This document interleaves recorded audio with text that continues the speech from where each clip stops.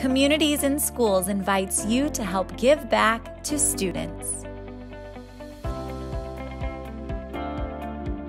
My name is Jocelyn Heath. I'm at Valley View Elementary School in Battle Creek, Michigan. My wish list would include um, Clorox wipes and masks and winter boots, winter coats, mittens, hats. We always take books. Um, we did some parent surveys and they uh, definitely included more literature at home. So that's kind of really my big push this year for my pro for at my school is literacy at home. So getting more books into kids' hands would be fantastic. Hi, my name is Sarah Musoy, CIS Site Coordinator in Dearborn Schools, McDonald Elementary, and Laurie Middle School.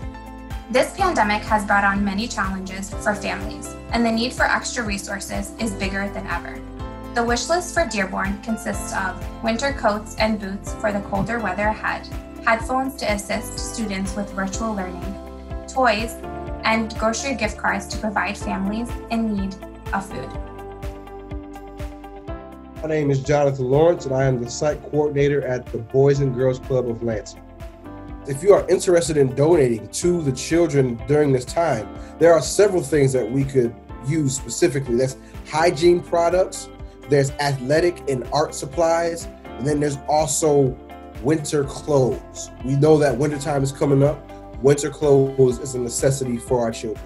Last year's winter clothes do not fit, and the scramble for new winter clothes is a challenge.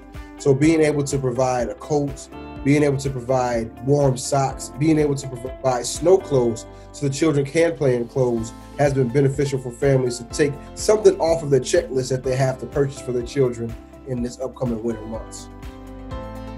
Communities in Schools Give Back 2020. Communities in Schools of Michigan could not achieve this without collaborative partners like you. Thank, Thank you.